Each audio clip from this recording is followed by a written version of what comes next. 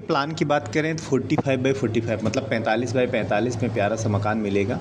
इस मकान में आपको चार बेडरूम मिलेगा। किचन स्टोर रूम दो से अटैच वाशरूम कॉमन बाथरूम सीढ़ी हॉल बरामदा पोर्च बहुत अच्छे तरीके से प्लान को बनाया गया है। तो ज़्यादा देरी नहीं करेंगे और आपको एक एक डिटेल बताएँगे। चलिए वीडियो शुरू करते हैं दोस्तों। नक्शा बनवाना है तो आप हमसे कांटेक्ट करके नक्शा बनवा सकते हैं। फ़िलहाल के लिए कॉलम आपको दिखा देते हैं। जो भी मैंने यहाँ पे कॉलम दिया है, दस बाई दस का फॉर सिंगल फ्लोर ये आपके कॉलम्स हो जाएँगे। इस तरीके से आप देख लीजिए, सारे आपके कॉलम्स हो जाएँगे। इस कॉलम में आपको चार सरिये, बारह एम का आपको यूज़ करना है दोस्तों, ठीक है? अगर हम सूद की बात करें तो चार सूद का आपको सरिये यूज़ करना है। बहुत लोग आठ एम का सरिये या दस एम का सरिये यूज़ करते हैं कॉलम में, जो कि टोटली गलत है। आपको ये बात का हमेशा ध्यान रखना है कि आपको हमेशा बारह एम का ही सरिये यूज़ करना है।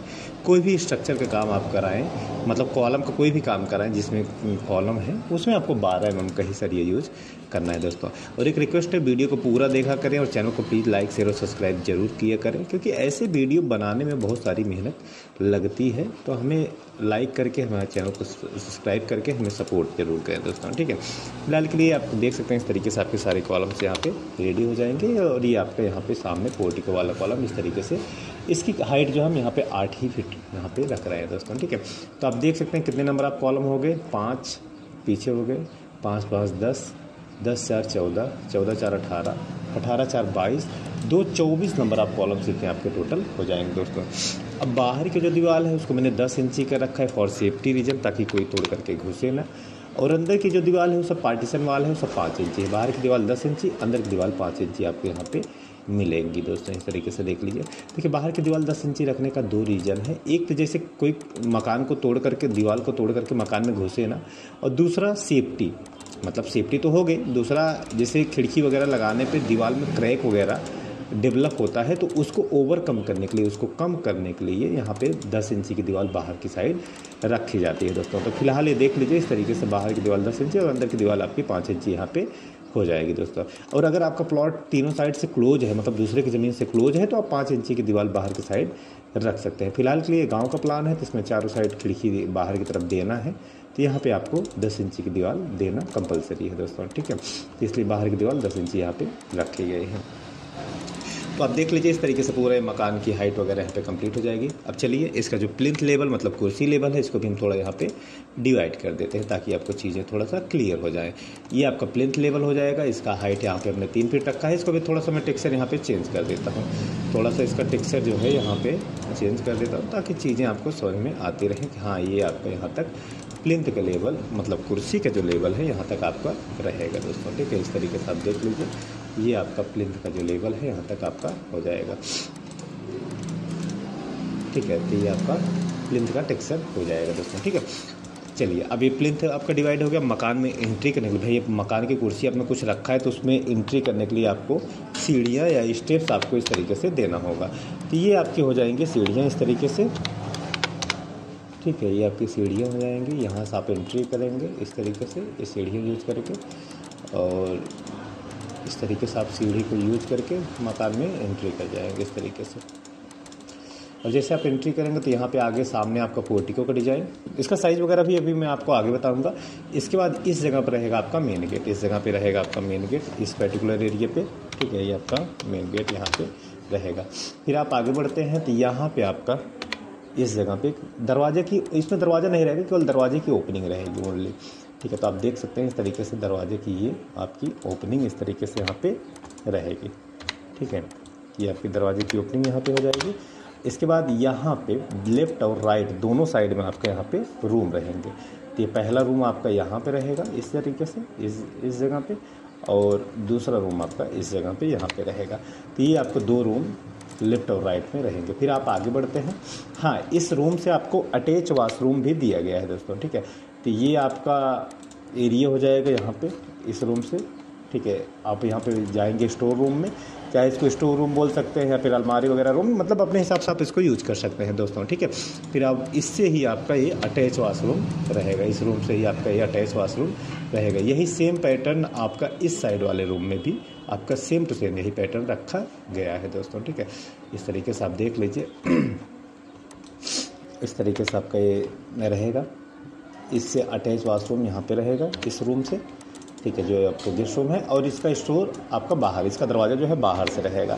बाहर से मतलब कोई भी बाहर का सामान वगैरह रखना है तो इसमें आप स्टोर रूम वगैरह बना सकते हैं। तो मतलब पैंतालीस बाई पैंतालीस से बहुत अच्छे तरीके से प्लान को एग्जीक्यूट किया गया है दोस्तों। ठीक है, फिर आप आगे बढ़ते हैं।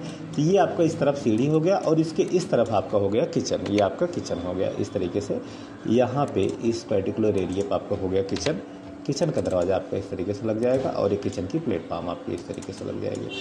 फिर आप आगे इधर देखते हैं तो यहाँ पे आपको एक स्टोर मिलता है, ये किचन का स्टोर है। ठीक है, ये आपका किचन का एक स्टोर रहेगा। इसका थोड़ा सा दरवाज़ा हम बाहर की तरफ़ ओपन करेंगे। ठीक है, ये आपका किचन का स्टोर हो जाएगा और एक स्टोर जो है, ये आपका बाहर रहेगा। मतलब इसको आप चिल्ड्रेन रूम बोल सकते हैं।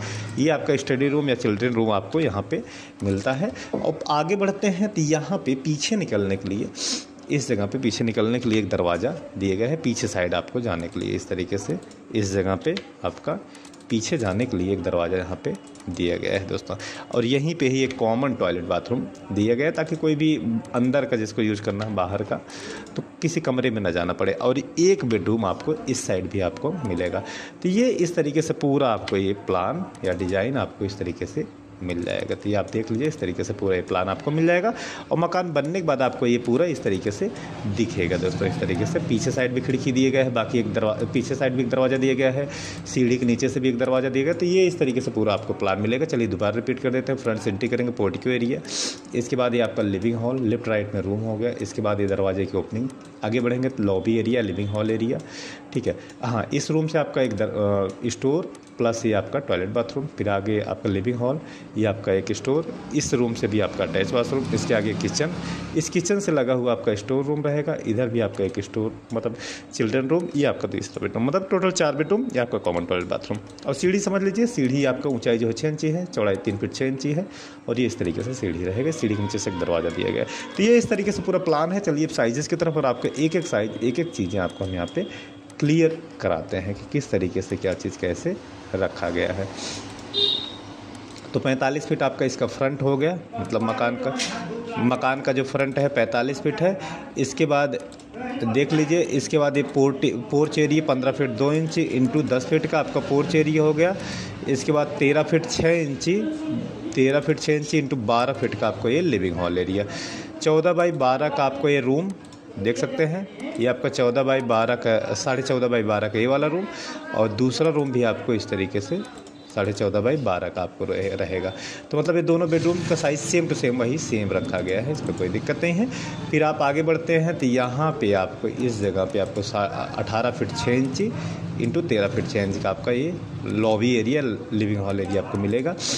ये आपका जो इस रूम से अटैच एरिया है, साढ़े दस फिट दस फिट एक इंच इंटू आठ फिट एक इंच का आपका रहेगा, उसके बाद छः फिट इंटू दस फिट एक इंच का आपका ये टॉयलेट बाथरूम रहेगा।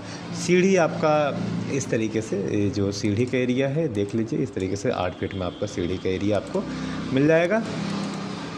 इसके बाद यहाँ पे आपको मिलेगा बारह फिट इंटू साढ़े चौदह फिट का आपका ये दूसरा रूम इसके बाद ये वाला हिस्सा आपका साढ़े सात बाई चार का आपका रहेगा, और चार फिट दो इंच का आपको पीछे जाने के लिए पैसेज आपको मिलेगा।